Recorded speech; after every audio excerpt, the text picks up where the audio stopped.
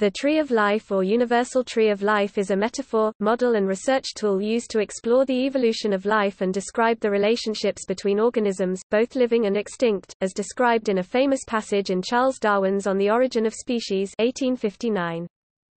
The affinities of all the beings of the same class have some times been represented by a great tree. I believe this simile largely speaks the truth. Tree diagrams originated in the medieval era to represent genealogical relationships. Phylogenetic tree diagrams in the evolutionary sense date back to at least the early 19th century. The term phylogeny for the evolutionary relationships of species through time was coined by Ernst Haeckel, who went further than Darwin in proposing phylogenic histories of life. In contemporary usage, Tree of Life refers to the compilation of comprehensive phylogenetic databases rooted at the last universal common ancestor of life on Earth. The Open Tree of Life, first published 2015, is a project to compile such a database for free public access.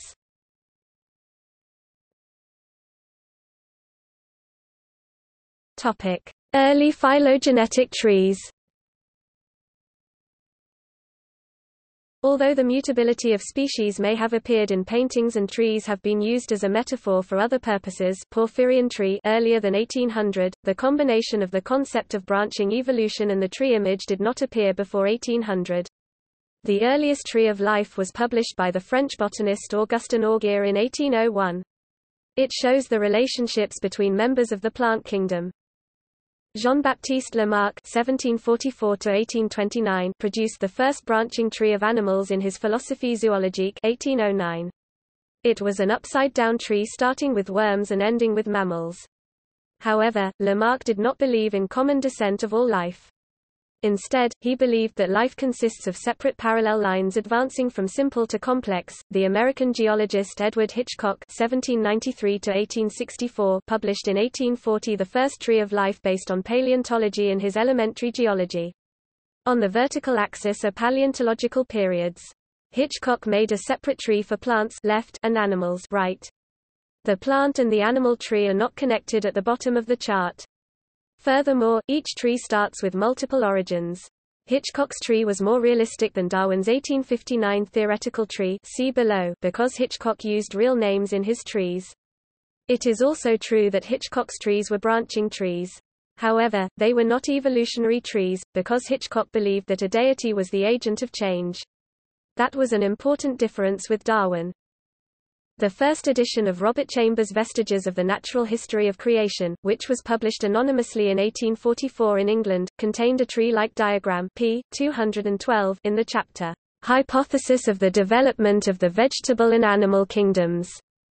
It shows a model of embryological development where fish F, reptiles R, and birds B represent branches from a path leading to mammals M. In the text this branching tree idea is tentatively applied to the history of life on Earth. There may be branching p. 191, but the branching diagram is not displayed again specifically for this purpose. However, the image of a branching tree could easily have inspired others to use it explicitly as a representation of the history of life on Earth.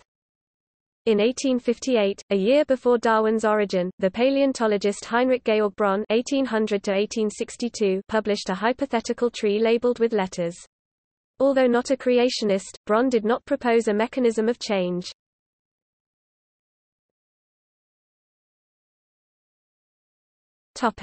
Darwin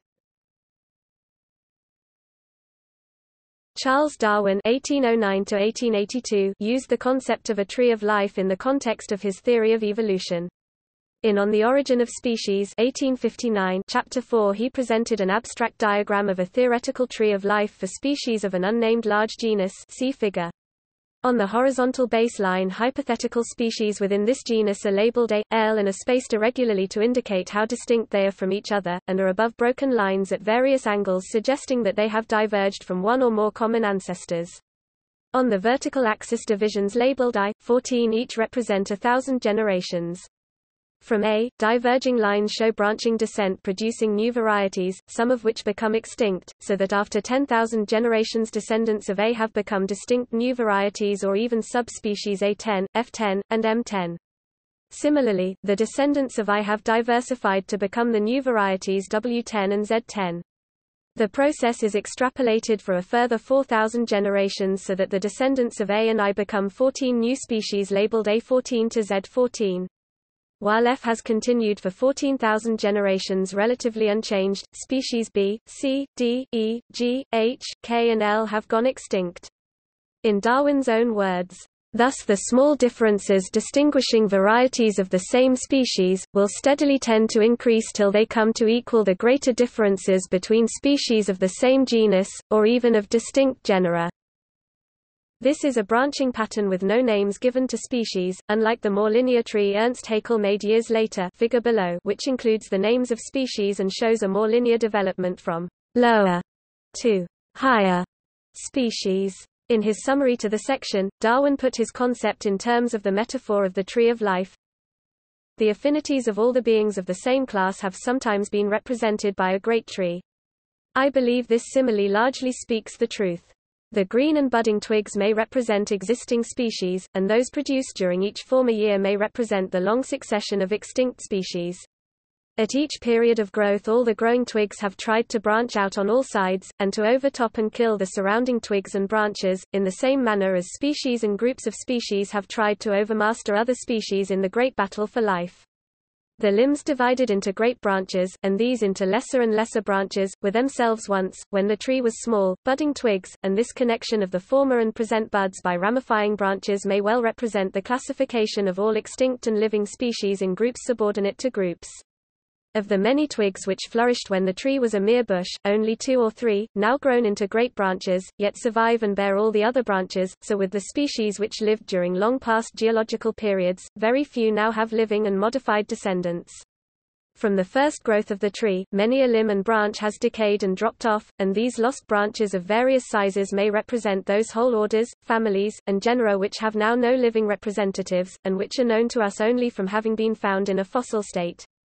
As we here and there see a thin straggling branch springing from a fork low down in a tree, and which by some chance has been favored and is still alive on its summit, so we occasionally see an animal like the Ornithorhynchus or Lepidosiren, which in some small degree connects by its affinities two large branches of life, and which has apparently been saved from fatal competition by having inhabited a protected station.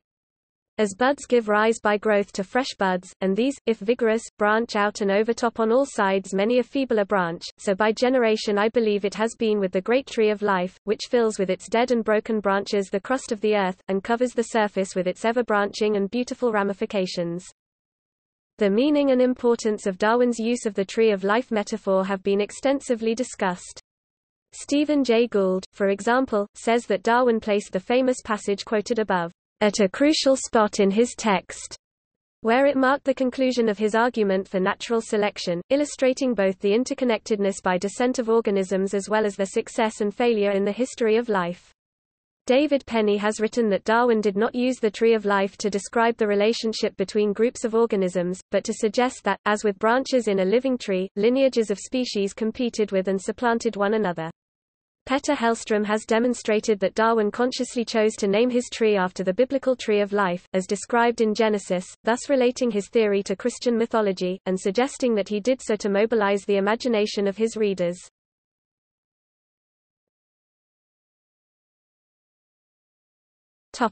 Haeckel Ernst Haeckel (1834–1919) constructed several trees of life. His first sketch in the 1860s of his famous tree of life shows Pithecanthropus alalus as the ancestor of Homo sapiens. His 1866 Tree of Life from Generelle Morphologie der Organismen shows three kingdoms, Plantae, Protista and Animalia. His 1879 Pedigree of Man was published in The Evolution of Man.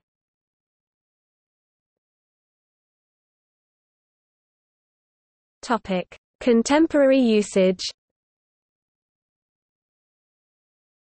The model of a tree is still considered valid for eukaryotic life forms.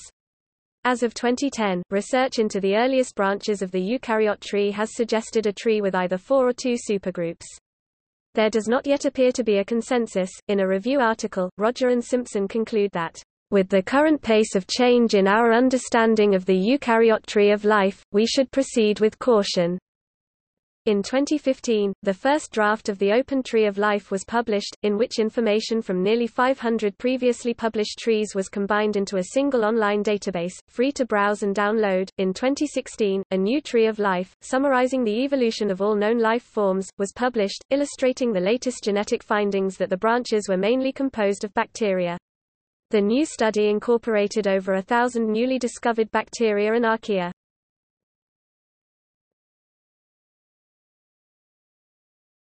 Topic: Horizontal gene transfer. The prokaryotes the two domains of bacteria and archaea and certain animals such as bdelloid rotifers and the tardigrade have the ability to transfer genetic information between unrelated organisms through horizontal gene transfer. Recombination, gene loss, duplication, and gene creation are a few of the processes by which genes can be transferred within and between bacterial and archaeal species, causing variation that is not due to vertical transfer. There is emerging evidence of horizontal gene transfer within the prokaryotes at the single and multicell level, so the tree of life does not explain the full complexity of the situation in the prokaryotes.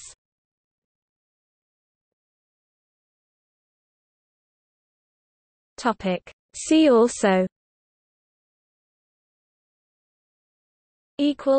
footnotes